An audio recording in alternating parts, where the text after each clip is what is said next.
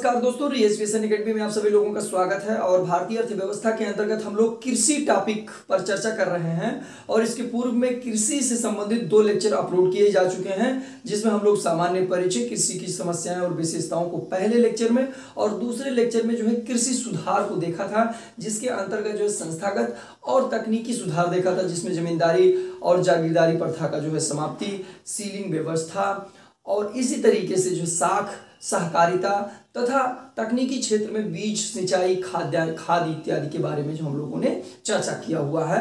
तो चूँकि कृषि भारतीय अर्थव्यवस्था के विभिन्न क्षेत्रों में देखा जाए तो एक बहुत बड़ा क्षेत्र है और इसका भारतीय अर्थव्यवस्था के साथ साथ लोगों के जीवन यापन लोगों के आय, विदेश में निर्यात और आय इत्यादि के क्षेत्र में इसका जो है रोल होता है। इसलिए हम इस टॉपिक को जो है बहुत ही कम्प्रीहेंसिवली चर्चा करेंगे, बहुत ही व्यापक स्तर पर जो है विस्तृत रूप में जो है लेंगे, ताकि इसके सभी पक्षों और आयामों से आपको जो है परिचित कराया जा सके। तो आज की इसी कड़ी में जो है हम लोग कृषि विपणन को जो है देखेंगे। सबसे महत्वपूर्ण चीज़ है कि विपणन एक यहाँ पर नया शब्द आया है। सामान्यतः हम लोग व्यापार और बिक्री देखते हैं, खरीद फरोख्त देखते हैं, लेकिन विपणन कृषि से संबंधित उत्पादों को जब किसी किसान के द्वारा जो है कृषि कार्य किया जाता है तो जो उत्पाद होते हैं, वो अपनी आवश्यकता की चीज़ों को अपने पास रख लेता है और जिस बचे हुए जो है खाद्यान्न या संबंधित जो है जिन्स को वो बिक्री के लिए ले जाता है बाहर, वह अतिरेक कहलाता है और इस अतिरेक की जो बिक्री होती है, वह विपणन यानी कि मार्केटिंग कहलाता है। इसीलिए यहाँ पे इसके लिए शब्द जो प्रयोग में लाया गया है, वो कृषि विपणन, यानी कि कृषि से संबंधित जो उत्पाद हैं, उसके बिक्री को जो है, उसके बिक्री को विपणन कहा जाता है। तो इस तरीके से ये जो है, कृषि विपणन से संबंधित चीज़ें आती हैं। एक सामान्य परिचय, हमेशा से एक कॉन्सेप्ट को देने का प्रयास सामान्य परिचय के रूप में।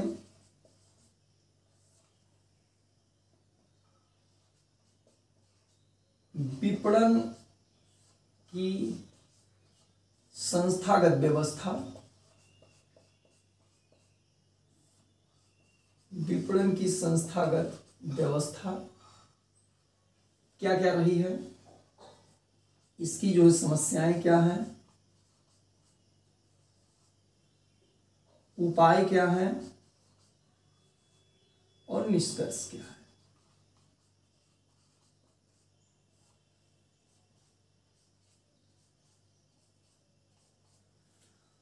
अब जैसे आप किसी भी टॉपिक को इस पॉइंट ऑफ़ व्यू से अगर पढ़ते हैं, विपणन, किसी विपणन की समस्या, किसी विपणन के टॉपिक को अगर लेते हैं और इस फॉर्मेट में अपनी तैयारी बनाने का प्रयास करते हैं तो न केवल उस टॉपिक की एक समझ विकसित होती है, बल्कि अगर आप मुख्य परीक्षा में लिखना चाहते हैं उत्तर को तो वहाँ पे भी लिखने में कोई समस्या नहीं होगी। और ध्यान होगा कि जब कोई निबंध पूछा जाता है तो हमारे लिखने का दृष्टिकोण कहीं ना कहीं ऐसे ही होता है। इन सभी पॉइंट्स पर हम अपने मौलिक विचार को जो व्यक्त करते हैं, ये तब मौलिक विचार आपका जो है, वो अनुभव से प्रभावित होता है।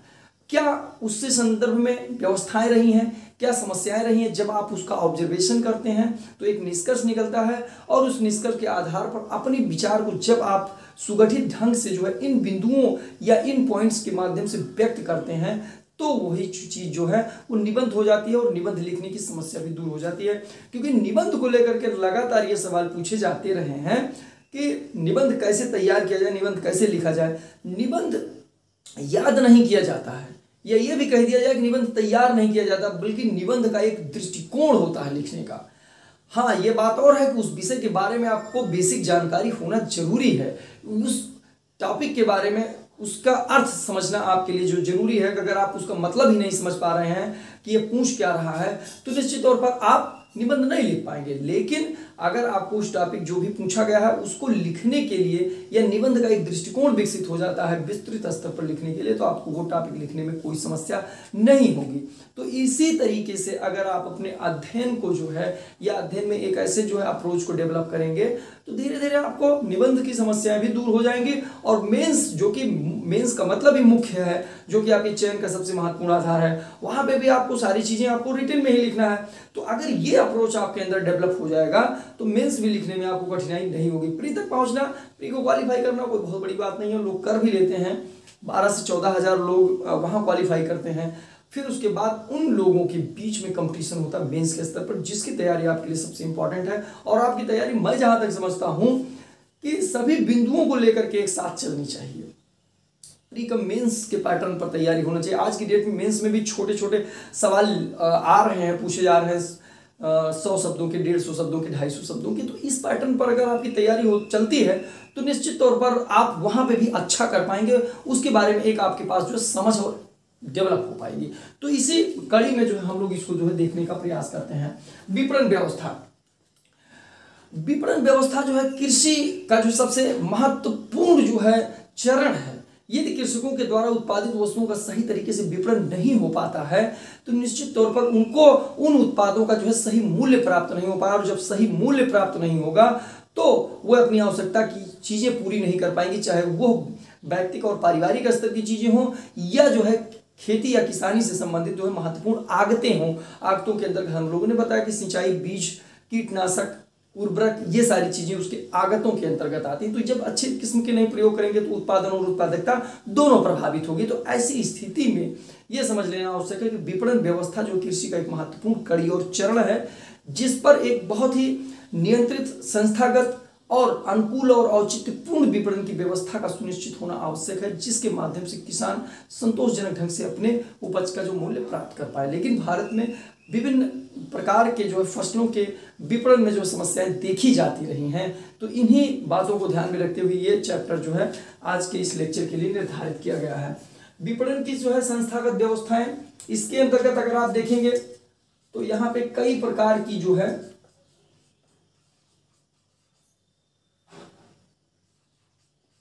नियमित बाज़ार। नियमित बाज़ार। सहकारी विपणन।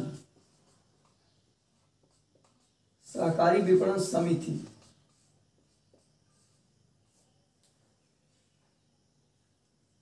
एनसीडीसी।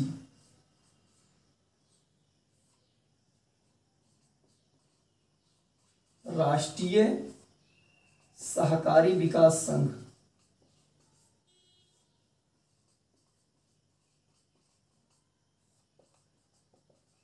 राष्ट्रीय सहकारी विकास संघ NAFED.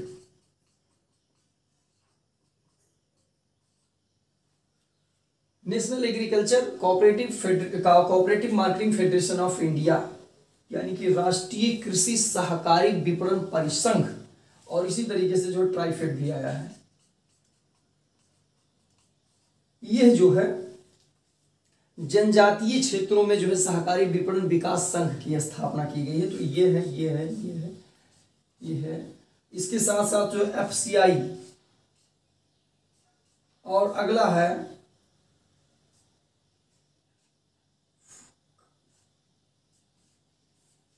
food and civil supplies department खाद्य एवं रसद विभाग एफसीआई इतनी जो व्यवस्थाएँ हैं, वो आपके कृषि विपणन के संदर्भ में एक संस्थागत ढांचे को प्रस्तुत करती हैं। ये विभिन्न स्तरों की सरकारों के द्वारा बनाए गए नियमों से शासित होती हैं। समय समय पर कृषि नीतियाँ या खरीद नीतियाँ जारी की जाती हैं, जिनके आलोक और पृष्ठभूमि में इन संगठन और संस्थाओं के द्वारा कृषि उत्पादों का विपणन कार्य किया जाता रहा है। तो नियमित बाज़ार के संदर्भ में यह है कि भारत में जो है संस्था या संगठनिक स्तर पर जो है कृषि उत्पादों के विपणन के लिए जो नियमित बाज़ार बनाए गए हैं, ये स्थानीय या राज्य स्तरीय जो है सरकारों के द्वारा बनाए गए नियमों के अंतर्गत शासित होते हैं। इन बाजारों का मुख्य उद्देश्य यही है कि स्थानीय स्तर पर विभिन्न प्रकार के कपट विभिन्न प्रकार के जो मध्यस्थता को जो समाप्त करना है, ताकि इनके उत्पादकों को सही तरीके से इनके उत्पाद का मूल्य मिल सके। तो नियमित बाज़ार अलग अलग क्षेत्रों में नियमित बाज़ार जो है लगते हैं। तो उसके लिए जो है ये व्यवस्थाएँ बनाई गई हैं कि नियमित बाज़ार जब ये स्थानीय स्तर पर या प्रांतीय सरकारों के द्वारा बनाए गए नियमों से जो है शासित होती हैं तो ये नियमित बाज़ार हो जाती है। तब कई ऐसे भी लोकल में बाज़ार आप लोग देखते होंगे कि वो साप्ताहिक स्तर पर लगते हैं। लेकिन सरकार का उसमें कोई नियंत्रण नहीं होता तो वहाँ पे मूल्य वगैरह में जो है, उतार चढ़ाव होता है तो वो नियमित बाज़ार में नहीं आएँगे। लेकिन जब वो सरकार के द्वारा बनाए गए नियम से जो है संचालित होगी तो वो नियमित बाज़ार के अंतर्गत सहकारी विपणन समितियाँ। यहाँ पर कॉपरेशन है और कमेटी है। जब दस या दस से अधिक किसान मिल करके अपने फ़सलों की बिक्री करने के लिए जो है कोई समूह या समिति बनाते हैं और एक साथ जो अपने फ़सलों की बिक्री करने पर जो है अपनी सहमति देते हैं तो वह सहकारी समिति हो जाती है। उन्नीस सौ चौवन से पूर्व में जो है सहकारी समितियाँ, यानी कि विपणन समितियाँ और साख समितियाँ, दोनों अलग अलग होती साख यानी कि क्रेडिट के लिए जो काम करती थी, लोगों की आवश्यकताओं को पूरा करने के लिए तो साख समितियाँ होती थी। लेकिन जो किसानों के उत्पादन को बिक्री से संबंधित होती थी, वो विपणन समितियाँ तो उन्नीस सौ चौवन से पहले ये होती थी, लेकिन बाद में जो है बहुउद्देशीय सहकारी समितियाँ जो है बनाई जाने लगी। इनमें जो है किसान के द्वारा या अन्य लोगों के द्वारा जो भी फ़सलें उत्पादित फ़सलें जो आती थी, उनकी जो है ग्रेडिंग होती थी, रखी जाती थी और उचित मूल्य आने पर वो बिक्री कर दी जाती थी और किसानों को उनका मूल्य प्राप्त हो जाता था। और एक चीज़ यहाँ पे ध्यान में रखना है कि जब फ़सलें उनकी पक के तैयार हुई और वो जो है समिति पर ले जाते हैं तो उनको कुछ अग्रिम मिल जाता है। ताकि उनकी आवश्यकताएँ तब तक चलती रहे जब तक कि उनके फ़सलों की बिक्री के बाद जो है वास्तविक रूप में मूल्य प्राप्त नहीं हो जाता। तो अग्रिम प्राप्त हो जाता था और बिक्री के समय जो शेष धनराशि होती थी, वो उनको दे दिया जाता था। तो ये इस तरीके से सहकारी विपणन समितियाँ काम करती। आज की डेट में भी जो है परचेज सेंटर में जो आपके पीसीएफ के नाम से जो है डिपार्टमेंट सहकारिता विभाग काम कर रहा है, वो इसी पैटर्न पर काम करता है। समितियाँ जो है, होती हैं। सबसे ज़्यादा अगर हम उत्तर प्रदेश की बात करें या अलग अलग प्रदेशों में भी जो है इसकी व्यवस्थाएँ हैं, पंजाब में बहुत ही व्यवस्थित ढंग से जो है बिक्री हो रही है, विपणन हो रही है वहाँ पर किसानों का। और अगर यूपी में देखें तो यहाँ पर खाद्य रसद विभाग और इसके साथ में जो है आपके एफ़ सी आई के सेंटर हैं और साथ में पीसीएफ वगैरह के सेंटर, सबसे ज़्यादा पीसीएफ के ही सेंटर खुलते हैं जो कि कोऑपरेटिव सेक्टर में जो खुल रहे हैं सहकारिता विभाग के दिन तो वो यहाँ पर इसी पैटर्न पर जो है काम करते हैं। तो ये सहकारी विपणन समितियाँ होती है। उन्नीस ईस्वी में एनसीडीसी की जो है स्थापना की गई। सहकारी राष्ट्रीय सहकारी विकास संघ की जो है स्थापना की गई उन्नीस ईस्वी में। ये भी जो है फ़सलों के जो है उत्पादन उसके भंडारण रख रखाव बिक्री इत्यादि से संबंधित जो है एक राष्ट्रीय स्तर की जो है संस्था है, एनसीडीसी। और नेफेड है, ये उन्नीस सौ अट्ठावन ईस्वी में स्थापित हुई। कभी कभी प्री के लेवल पर प्रीलिम्स में जो है क्वेश्चन इसकी स्थापना को भी लेकर पूछ लिया जाता है। इसलिए चीज़ों को क्लियर करना बहुत ज़रूरी है कि जिससे कि प्रारंभिक और मेंस दोनों के ही लेवल की जरूरतें आपकी जो है पूरी हो सकें। तो उन्नीस सौ ईस्वी में जो है आपके नेफेड की जो है स्थापना की गई की National Agriculture Cooperative Marketing Federation of India राष्ट्रीय कृषि सहकारी विपणन परिसंघ की स्थापना की गई। यह एक शीर्ष स्तर की जो है सहकारिता की क्षेत्र की जो है संगठन है। यह मुख्य रूप से अगर देखा जाए तो विभिन्न प्रकार के जो फ़सलों को जो है एकत्रण करना और उसका जो है निर्यात करने से संबंधित अंतर्राज्यीय व्यापार को भी जो है संचालित करती है। इसके साथ साथ जो है, जिन क्षेत्रों में जो आधिक्य होता है जिन क्षेत्रों में कमी होता तो आधिक्य से कमी वाले क्षेत्रों में भी जो है, ये फ़सलों को जो है, भेजती है। तो इस तरीके से एक संतुलन बनाए रखना इसका जो है, मूल रूप से काम है और उसका टारगेट इस तरीके से होता है कि बिचौलियों और अन्य प्रकार के जो है, दुर्भावनापूर्ण गतिविधियों पर रोक लगा करके किसानों को उनके उपज का उचित मूल्य दिलाया जा सके। तो नेफेड इस पॉइंट ऑफ़ व्यू से काम कर रहा है, जिसकी स्थापना उन्नीस सौ अट्ठाईस अट्ठावन ईस्वी में जो है किया गया था। ट्राइफेड जो है वो निफेड के ही तर्ज पर है, लेकिन ये जनजातीय क्षेत्रों के लिए है। जनजातियों के लिए है, और इसकी स्थापना अगर देखा जाए तो उन्नीस सौ जो है सत्तासी, उन्नीस सौ सत्तासी ईस्वी में ट्राइफेड की जो है स्थापना की गई, जो जनजातीय क्षेत्रों में सहकारी विपणन विकास संघ की स्थापना जो की गई। उन्नीस सौ सत्तासी ईस्वी में इसका मुख्य उद्देश्य जनजातीय लोगों को उनके उत्पादों की बिक्री के संदर्भ में निजी या बिचौलिए या मध्यस्थों की भूमिका को समाप्त करना, इनके उत्पादों का उचित मूल्य दिलाना है। यह संगठन और संघ जो है वह वनोत्पाद या वृक्षों से संबंधित से प्राप्त होने वाले जो है, जो भी फल, लकड़ी जड़ी बूटियाँ, जो भी चीज़ें हैं, उनके उत्पाद का एकत्रण, उनका जो है प्रसंस्करण, उनके विपणन इत्यादि से जो संबंधित होती है। ध्यान रहे कि ट्राइफेड जो है बेसिकली एफसीआई के साथ में जो है गेहूँ और चावल तथा जो है दलहन और तिलहन में सहकारिता विभाग के एजेंट के रूप में भी जो है काम करता है। इसे जो है उतार चढ़ाव, मूल्यों के उतार चढ़ाव में जो है केंद्र से अनुदान भी जो है प्राप्त होता है। तो ये जो है ट्राइफेड इस पॉइंट ऑफ़ व्यू से काम करता है। मूल रूप से ये जनजातीय क्षेत्रों के लिए काम करता है। सत्तासी में इसकी स्थापना हुई। जनजातीय के लिए जो है उनके उपज का सही मूल्य दिलाना इसका जो मूल रूप में उद्देश्य है। अगला है जो है एफ़ सी की स्थापना उन्नीस सौ पैंसठ ईस्वी में किया गया था। फ़ूड कॉरपोरेशन ऑफ़ इंडिया भारतीय खाद्य निगम। बेसिकली इसकी स्थापना जो है क्वालिटी कंट्रोल एंड जो है बफर स्टॉक जोन के लिए किया गया था।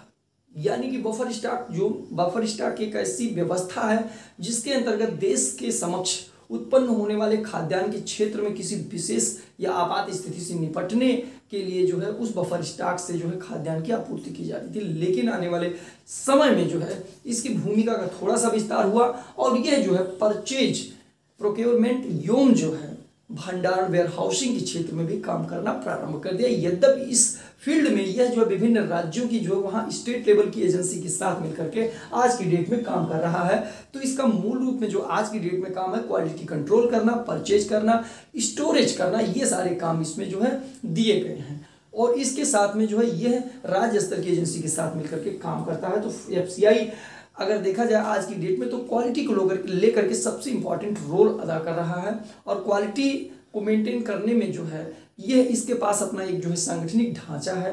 क्वालिटी इंस्पेक्टर हैं जिनके माध्यम से क्वालिटी कंट्रोल करते हैं और उन क्वालिटी के मानकों के आधार पर जो खाद्यान्न प्राप्त होते हैं, उनको स्टोरेज किया जाता है। देन वो जो है स्टेट एजेंसी के साथ में जो है, वो वितरण के लिए जो है राष्ट्रीय खाद्य सुरक्षा अधिनियम में यहाँ से इशू किया जाता है खाद्यान्न को जो है। तो ये चीज़ें हो जाती हैं एफ़ के लिए।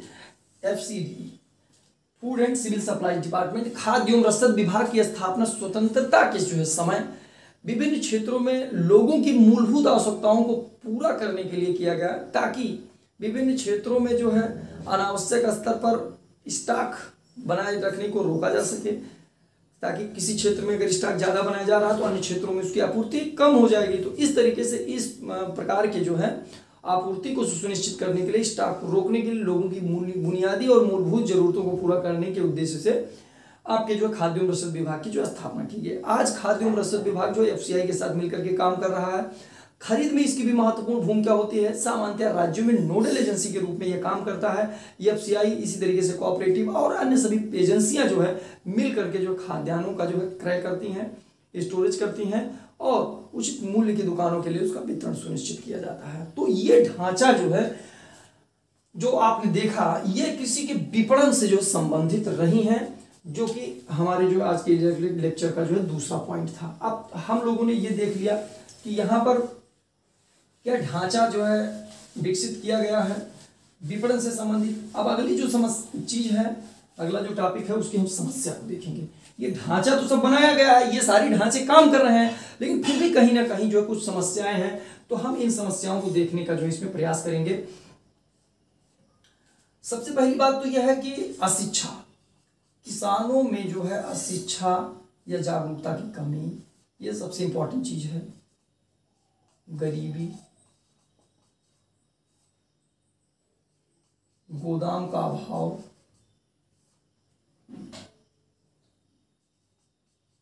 मार्ग की बदहाली।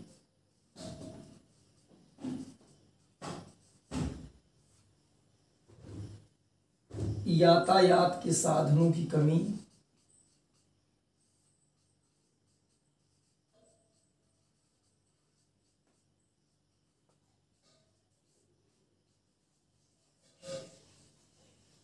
यातायात के साधनों की जो है कमी सूचना तंत्र का कमज़ोर होना।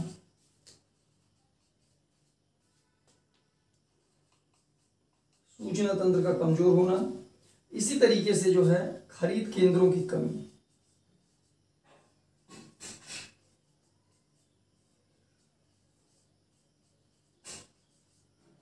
खरीद केंद्रों की कमी। पॉइंट हैं जो व्यवहारिक स्तर पर विपणन की समस्या को जो है व्यक्त करते हैं। अशिक्षा। आज की डेट में भी जो है किसान ग्रामीण क्षेत्रों में रहते हैं और ग्रामीण क्षेत्रों की जो लिटरेसी है, साक्षरता दर है, वो कहीं ना कहीं अभी भी कम बनी हुई है और उसमें सबसे ज़्यादा जो परसेंटेज है वो किसानों का है। इनमें किसान जब अशिक्षा है तो इनकी जानकारी या जागरूकता नहीं हो पाती है। विभिन्न स्तरों पर जो, विभिन्न स्तरों पर लैब की जो रिसर्च होते हैं, वो यहाँ तक नहीं पहुँच पाते हैं। टाइमली जो है काम करने की व्यवस्था नहीं पहुँच पाती है, या जो मूल्य की व्यवस्थाएँ हैं अलग अलग मंडियों की व्यवस्थाएँ हैं टाइम टू टाइम जो अपडेशन है, अद्यतन किए जा रहे हैं, उस मूल्य से ये परिचित नहीं हो पाते। तो कहीं ना कहीं अशिक्षा भी जो है, इनके मार्ग की जो है समस्या है जिससे इनके विपणन के उद्देश्य को पूरा नहीं किया जाता है या नहीं हो पाता है तो शिक्षकों इसमें जो किसानों की जो है शिक्षा इनके मार्ग में जो समस्या जो है पैदा करती है। तो अशिक्षित होना एक समस्या का जो विषय है, गरीबी। गरीबी जो है, वो किस तरीके से विपणन में समस्या पैदा करती है? भाई, गरीब अगर हैं तो इनमें संस्था के स्तर से लोन लेने में भी समस्याएँ हैं। इनके पास जो है, गारंटी की समस्याएँ हैं और जब इस तरीके की समस्याएँ पैदा होती है तो अपनी छोटी छोटी आवश्यकताओं को पूरा करने के लिए जो है, ये बिचौलियों के स्तर पर जो है, लोन लेते हैं, ऋण लेते हैं और उन्हें अपने फ़सलों को जो औने पौने दाम पर उनके द्वारा बनाए गए शर्तों के दिन बेचना पड़ता है। तो इसलिए गरीबी भी कहीं ना कहीं एक एक जो है, इसमें समस्या का जो है विषय बनता जा रहा है। गोदाम गोदाम का मतलब एक ऐसा स्थान जहाँ पर जो है, किसान अपने फ़सलों को जो है, पकने के बाद जो है, रख सकता है। क्योंकि मूल्य का एक चक्र होता है। जब फ़सल की कटाई होती है तो उस समय मूल्य शायद कम होता है और कुछ समय के बाद फ़सलों का मूल्य अच्छा मिल सकता है।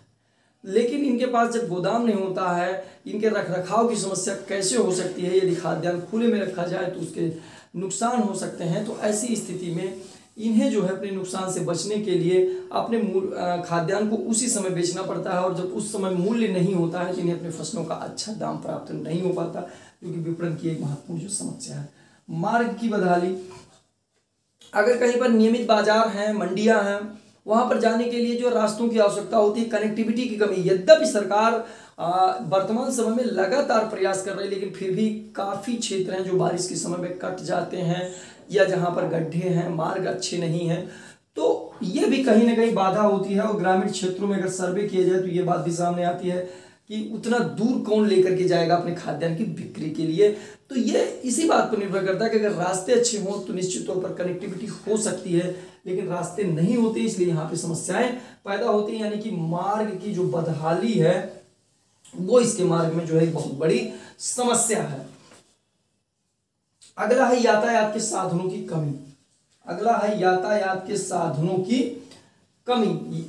किसान जब गरीब है तो उसी से जुड़ा हुआ है उनके पास ट्रैक्टर ट्रैक्टर है लेबलर है, थ्रेसर है, ये सारी चीज़ें नहीं होती हैं तो उनको अब साधनों के लिए दूसरे के ऊपर निर्भर होना पड़ता है। अच्छा ये कहीं ना कहीं इन खरीद केंद्रों से जुड़ा हुआ खरीद केंद्र कम होने के कारण से जो लंबी लंबी लाइनें होती हैं। अगर वो दूसरे किराए की जो है गाड़ियों से अगर खाद्यान्न की बिक्री करने के लिए ले जा रहे हैं तो निश्चित तौर पर उसमें भी समस्या होती है। क्योंकि अगर ट्रैक्टर और ट्राली को जो है दो से तीन दिन वहाँ पर खड़ा करना पड़ा तो उसके भी चार्जेज होंगे। ये सारी समस्याएँ किसानों के सामने हर बार जो है विपणन वर्ष में या विपणन के सेशन में जो है आता है। तो ये भी कहीं ना कहीं एक समस्या। सूचना तंत्र का अभाव आधुनिक समय में अत्याधुनिक जो है साइंस टेक डिवाइसेस इंटरनेट की दुनिया से जो है बहुत ज़्यादा जुड़े हुए नहीं है। ऐसी स्थिति में इनके फ़सलों के मूल्य के बारे में जो एक सार्वभौमिक व्यवस्थाएँ होती है, सरकार तंत्र के द्वारा स्वीकृत जो व्यवस्थाएँ होती है, उससे ये जो अपरिचित रह जाते हैं। और व्यवहारिक स्तर पर जो है दो हज़ार के रेट में जो बिकने वाले खाद्यान्न जींस को जो है इनके द्वारा बारह, तेरह या चौदह सौ के मूल्य में भी बेचा जाता है। ग्रामीण क्षेत्रों में ऐसी समस्याएँ अभी भी जो है दिखाई पड़ती हैं। तो ये भी सूचना तंत्र की कहीं कमी है। खरीद केंद्र, जो कि एक व्यवहारिक समस्या है, ये सबसे महत्वपूर्ण चीज़ है। क्योंकि खरीद के वर्षों में जो खाद्य रसद विभाग एफ़ सी कोऑपरेटिव, इन सभी डिपार्टमेंट के जो है माध्यम से खरीद केंद्र बनाए जाते हैं। लेकिन उत्तर प्रदेश, पंजाब, हरियाणा, छत्तीसगढ़ या इस तरीके से जो, जहाँ पे कृषि की जो प्रधानता है, कृषि फ़सलों की प्रधानता, वहाँ पे एक समस्या उत्पन्न होती है। कि फ़सलें और किसानों के द्वारा उत्पादित जो जींस हैं, उनकी मात्रा इतना ज़्यादा होती है, खरीद केंद्र इससे जो है निश्चित समय में खरीद नहीं पाता है। इसलिए उसकी समस्या ये होती है, या तो लंबी लंबी लाइनें लगती हैं, या तो किसानों के जो खाद्यान्न है, वो बिचौलियों के माध्यम से बिकने के लिए विवश होता है। क्योंकि किसानों के पास ना तो उतनी सुविधाएँ होती, ना तो उतनी जानकारी होती है, और ना ही उतना समय होता है कि वो फ़सलों की बिक्री के लिए ही पूरा पूरा अपना समय उसमें खर्च कर सके। तो खरीद केंद्रों की कमी इसमें भी जो है कहीं ना कहीं एक समस्या बनाता है। तो ये कुछ थी जो है व्यवस्थाएँ, ये कुछ थी समस्याएँ जो विपणन के मार्ग में जो बाधा उत्पन्न करती हैं, जिसे किसानों को उनके उपज का सही मूल्य प्राप्त नहीं हो पाता है। तो इन सभी पॉइंट्स को ध्यान में रखना आवश्यक है। उपाय के अंतर्गत जो है, सरकार के द्वारा एक नियंत्रित जो है, एकीकृत, एकरूपता पर आधारित जो विपणन के ढांचे की जो है, व्यवस्था होना बहुत ही ज़रूरी है, जिससे हम जो है इससे निपट पाएँगे। केंद्रों की संख्या, जो खरीद केंद्रों की जो संख्या है उसको भी जो है बढ़ाना होगा, क्योंकि केंद्रों के ऊपर ही जो है ये निर्भर करेगा कि किसान अपने फ़सलों को कितनी आसानी से बेच सकता है। किसानों के जो उत्पादन जगह है, केंद्र है, यानी कि उनके खेत हैं जो है, वहाँ से बहुत दूरी पर नहीं होने चाहिए। जैसे किसी भी न्याय पंचायत स्तर पर जो खरीद केंद्रों की स्थापना अभी आज की डेट में भी न्याय पंचायत स्तर पर खरीद केंद्र नहीं बने हैं तो खरीद केंद्रों की जो है संख्या होनी चाहिए। इससे उनके मार्ग की समस्याएँ, उनके यातायात के साधनों की समस्याएँ, ये सारी चीज़ें जो है दूर होंगी। तो इसलिए जो है केंद्रों की संख्या अधिक होना चाहिए, उनके उत्पादन केंद्रों से उनकी दूरी कम होना चाहिए, संगठित, नियंत्रित और एकीकृत जो है खरीद केंद्र का ढांचा इसमें जो विकसित होना चाहिए, ये सारी जो चीज़ें खरीद और विपणन की व्यवस्था को कहीं ना कहीं जो है आसान बनाएँगे और इससे किसानों को उनके उपज का सही मूल्य मिल पाएगा। तो इन सभी बातों को ध्यान में रखा जाए तो ये एक बात तो इसमें निष्कर्ष के रूप में निकल करके आता है कि जहाँ पर कृषि जो है विभिन्न क्षेत्रों के अंतर्गत इंडियन इकोनॉमी की अगर बात करें, उसके विभिन्न क्षेत्रों में एक महत्वपूर्ण जो है क्षेत्र है, वहीं पर यह जो है किसानों की आय रोज़गार निर्यात जीडीपी में जो है इसकी महत्वपूर्ण भूमिका है। ऐसी स्थिति में जो सरकार लगातार इस दिशा में प्रयास कर रही है, लेकिन अभी भी कुछ क्षेत्रों में इसमें कमी बची हुई है। लेकिन जिस तरीके से जो सरकार आगे बढ़ रही है, उम्मीद किया जा सकता है कि आने वाले समय में संगठित और एकीकृत ढांचे का विकास होना जो है, संभव हो पाएगा, जिससे किसान अपने उत्पाद और अपनी फ़सलों को जो है, विपणन व्यवस्था के अंतर्गत जो सरलीकृत ढंग से जो है बिक्री कर पाएँगे और इससे उनकी उपज का सही मूल्य मिल पाना संभव हो सकेगा। तो आज के इस लेक्चर में जो है कृषि विपणन से संबंधित बस इतनी ही व्यवस्था और ढांचा। अब अगले लेक्चर में पुनः हम कृषि के जो है अगले लेक्चर को लेकर के आएँगे। तब तक के लिए नमस्कार।